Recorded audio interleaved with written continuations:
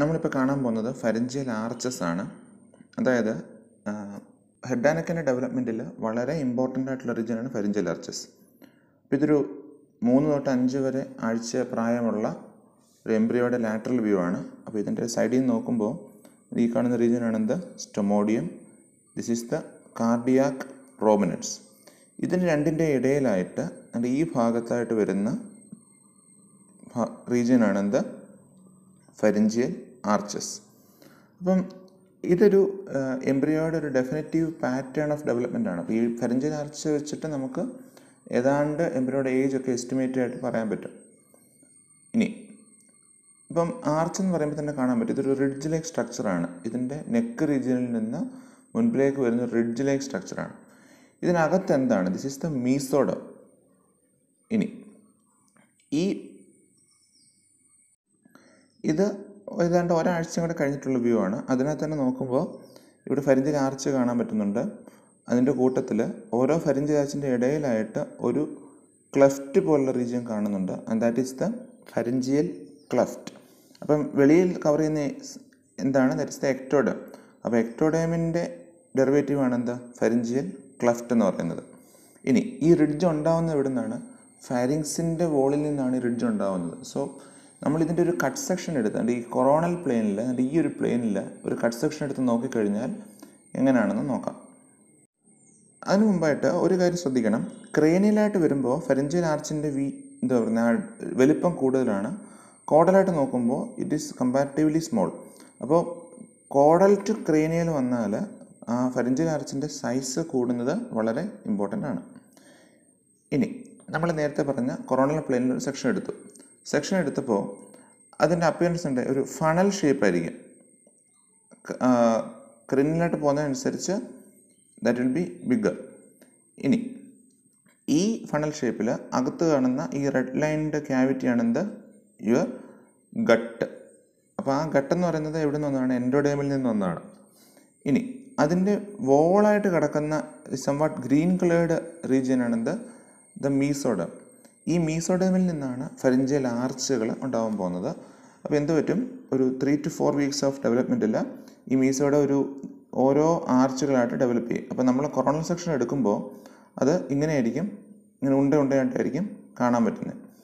ഈ ഓരോ സ്വെല്ലിങ്ങിന്റെയും inner ആസ്പെക്റ്റിൽ cover ചെയ്യുന്ന ആരാണ്? That is your endoderm outer ആസ്പെക്റ്റിൽ cover ചെയ്യുന്ന ആരാണ്? എക്ടോഡം ഇന്നർ ആസ്പെക്റ്റിൽ ഓരോ ഫെറിഞ്ചിയൽ ആർച്ചിന്റെ ഇടയിലേക്കുള്ള ഈ എൻഡോഡേമിന്റെ പ്രൊജക്ഷനാണെന്ത്? എൻഡോഡെർമൽ പൗച്ചസ് അല്ലെങ്കിൽ ഫരിഞ്ചിയൽ പൗച്ചസ്. അതുപോലെ ഓരോ ആർച്ചിന്റെ ഇടയിലേക്കുള്ള എക്ടോഡേമിന്റെ പ്രൊജക്ഷനാണെന്ത്? എക്ടോഡെർമൽ ക്ലഫ്റ്റ്സ് എന്ന് പറയും. അല്ലെങ്കിൽ ഫരിഞ്ചിയൽ ക്ലഫ്റ്റ് എന്നും നമ്മളിതിന് പറയാറുണ്ട്. ഓക്കെ. ഇനി എത്ര ആർച്ചുകളുണ്ട്? You have the first arch second arch third arch fourth arch fifth arch ഉണ്ടായിരുന്നു പക്ഷേ ഡിസപ്പിയർ ചെയ്യും. Then you have the sixth arch ഇങ്ങനെ ടോട്ടൽ നമ്പർ എത്രയാണ്? അഞ്ച് ആർച്ചുകളാണ് ഫൈനലി നമ്മൾ കാണാൻ പോകുന്നത്. അപ്പോൾ നമ്മളിപ്പോൾ ഓൾറെഡി പറഞ്ഞു കഴിഞ്ഞു ഈ ഓരോ ആർച്ചും മീസോഡർമൽ തിക്കനിങ് ആണെന്ന് പറഞ്ഞു കഴിഞ്ഞു. അപ്പോൾ നമ്മൾ സപ്പോസ് ഈ ഒരു പർട്ടിക്കുലർ റീജിയൻ മാത്രം ഒന്ന് ഫോക്കസ് ചെയ്ത് നോക്കുകയാണെന്നുണ്ടെങ്കിൽ അതിൽ നിന്ന് എന്തെല്ലാം സ്ട്രക്ചർ ഉണ്ടാകുന്നുണ്ടെന്ന് അറിയണം. So this was that region ഒരു പർട്ടിക്കുലർ ആർച്ചിന്റെ മാത്രം സെക്ഷൻ എടുത്ത് നോക്കുന്നു.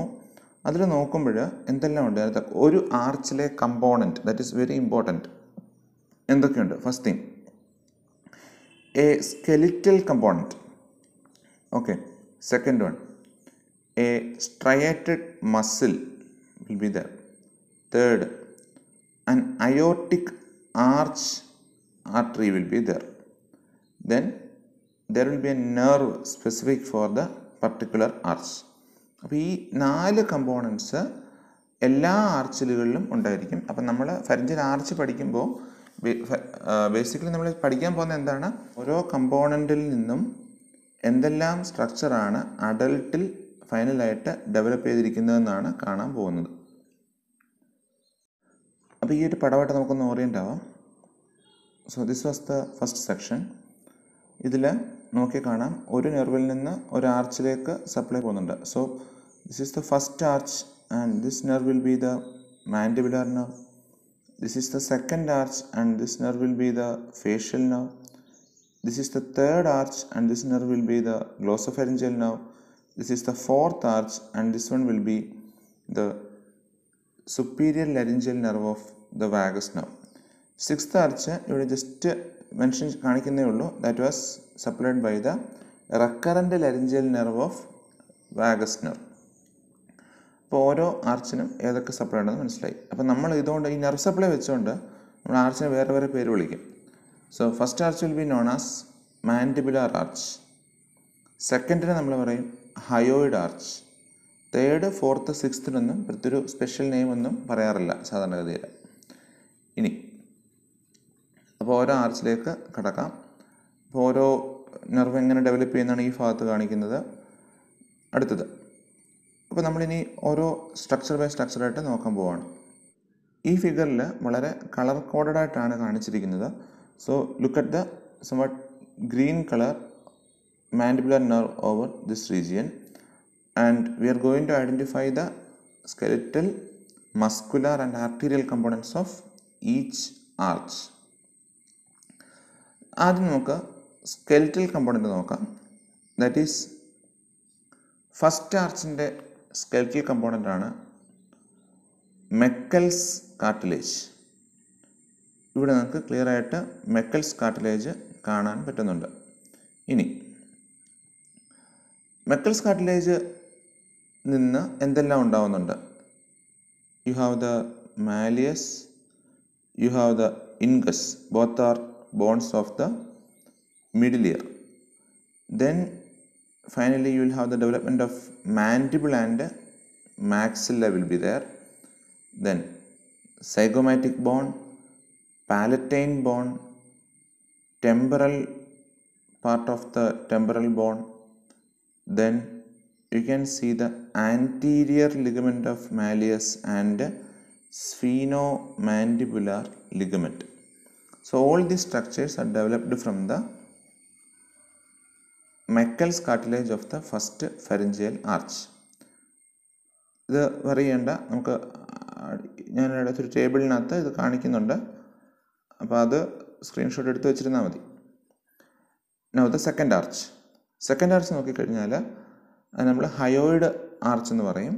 അവിടുത്തെ കാർട്ടിലേജ് ആണ് റൈക്കട്സ് കാർട്ടിലേജ് ഈ റൈക്കട്സ് കാർട്ടിലേജിന്റെ നോക്കിയാൽ മതി. ഇവിടെ ഫേഷ്യൽ നെർവിന്റെ കളർ കോഡ് വെച്ചിട്ട് ഇവിടെ ഈ റീജിയനിലാണ് റൈക്കട്സ് കാട്ടിലേജിൽ നിന്നുള്ള സ്ട്രക്ചേഴ്സ് കിടക്കുന്നത്.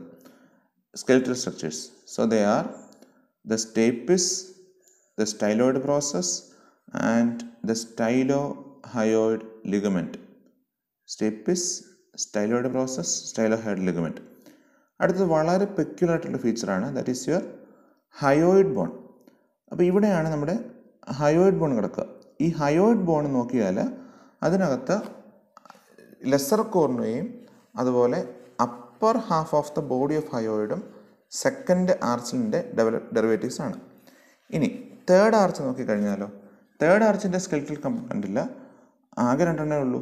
ഒന്ന് ഹയോയിഡിന്റെ ബാക്കിയുള്ള region that is greater cornu of hyoid പിന്നെ lower half of the body of hyoid ഇത് രണ്ടുമാണ് തേർഡ് ആർച്ചിന്റെ കമ്പോണന്റ് ഇനി ഫോർത്തും സിക്സ്ത് ആർച്ചുകൾ നമ്മളത് ഒരുമിച്ച് പറയാറുള്ളൂ. അതിന്റെ സ്കെൽറ്റൽ ഡെറിവേറ്റീവ്സ് എന്ന് പറഞ്ഞാൽ ഈ ലാരിങ്സുമായിട്ട് റിലേറ്റഡ് ആയിട്ടുള്ള എല്ലാം ഫോർത്ത് ആൻഡ് സിക്സ്ത്തിൽ നിന്ന് വരുന്നതാണ്. So skeletal derivatives are thyroid cricoid corniculate cuneiform and arytenoid cartilages. Then we have the thyrohyoid ligament and the epiglottis എപ്പിഗ്ലോട്ടിസിന്റെ കുറച്ച് പോർഷൻ ഹൈപ്പോ ബ്രാങ്കിയൽ എമിനൻസിൽ നിന്ന് വരുന്നതാണ്. അതെന്താണെന്നുള്ളത് പിന്നീട് നമുക്ക് കാണാം. So this is the summary of the skeletal derivatives of pharyngeal arches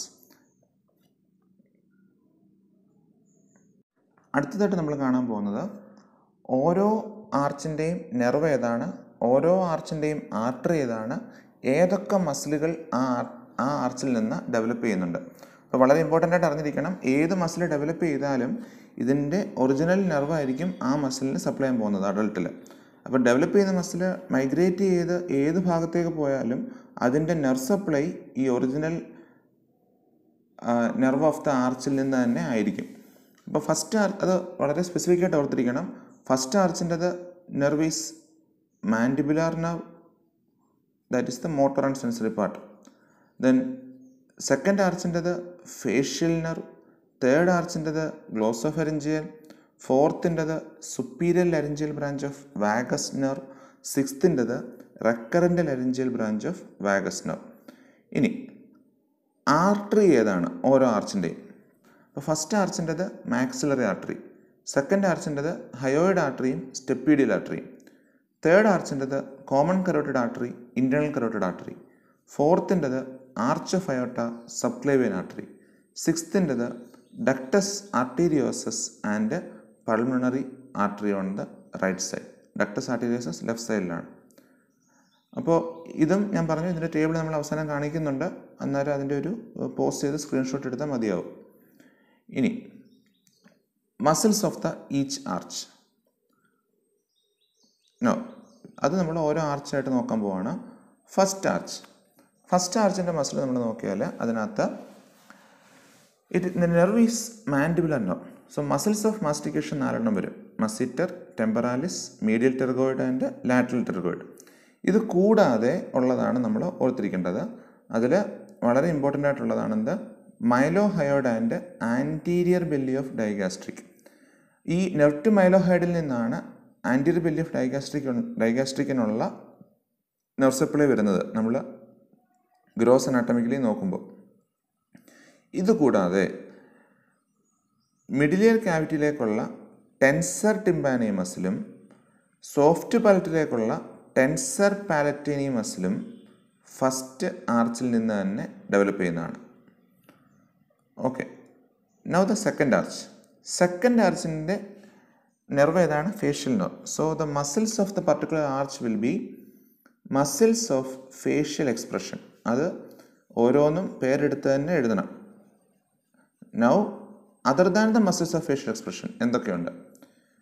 middle ഇയറിൽ stapedius പിന്നെ അത് കഴിഞ്ഞ് പുറത്തോട്ടിറങ്ങിയാൽ stylohyoid and posterior belly of digastric അത് ഇപ്പോൾ പോസ്റ്റീരിയർ ബെല്ലി ഓഫ് ഡൈഗാസ്ട്രിക്കിന്റെയും ആന്റീരിയർ ബെല്ലി ഓഫ് ഡൈഗാസ്ട്രിക്കിന്റെ ഇടയിലുള്ള ഇന്റർമീഡിയറ്റ് ടെൻഡൻ സ്റ്റൈലോ ഹയോയിഡ് മസിലിനകത്തൂടെയാണ് പാസ് ചെയ്ത് പോകുന്നത്. So the stylohyoid and posterior belly of digastric are supplied by the facial nerve അത്രയാകുമ്പോഴത്തേക്ക് facial നെർവിന്റെ supply കഴിയും along with the muscles of facial expression now you come to the third arch that is glossopharyngeal nerve glossopharyngeal nerve supply ചെയ്യുന്ന muscle ഏതാണ്? ഒരേ ഒരു മസിലേ ഉള്ളൂ that is സ്റ്റൈലോ ഫെറിഞ്ചിയസ് ഇനി fourth arch fourth arch നോക്കിക്കഴിഞ്ഞാൽ അതിന്റെ നെർവ് ഏതാണ്? Superior laryngeal branch of vagus nerve നമുക്കറിയാം ഫോർത്തും സിക്സ്ത്തും എന്ന് പറയുന്നത് ലാരിങ്സുമായിട്ട് റിലേറ്റഡ് ആണ് ആർച്ചസ് അതുകൊണ്ട് എല്ലാ ഇന്റൻസിക് മസിൽസ് ഓഫ് ലാരിങ്സും ആരാണ് സപ്ലൈ ചെയ്യുന്നത്? സിക്സ്ത് ആർച്ചാണ് സപ്ലൈ ചെയ്യുന്നത്. Recurrent laryngeal nerve of vagus nerve അതാണ് സപ്ലൈ ചെയ്യുന്നത്. Except cricothyroid which is supplied by the fourth arch nerve that is the superior laryngeal branch of vagus nerve specifically പറയുവാണെങ്കിൽ external laryngeal nerve പിന്നെ larynx കഴിഞ്ഞാൽ ബാക്കിയുള്ള muscles of pharynx supply ചെയ്യുന്നത് ആരാണ്? Fourth arch ആണ്. ഇത് കൂടാതെ സോഫ്റ്റ് പാലറ്റിൽ നമ്മൾ നേരത്തെ പറഞ്ഞ ടെൻസർ വേലയ പാലറ്റിനെ ഒഴിച്ചുള്ള എല്ലാ ഇന്റൻസിക് മസിലും സപ്ലൈ ചെയ്യുന്നതും ഫോർത്ത് ആർച്ച് ആയിരിക്കും. സിക്സ് ആർച്ചിന്റെ കേസിൽ നമ്മൾ ഓൾറെഡി പറഞ്ഞു കഴിഞ്ഞു. Nerve is recurrent laryngeal branch of vagus nerve and it supplies the all intrinsic muscles of larynx except cricothyroid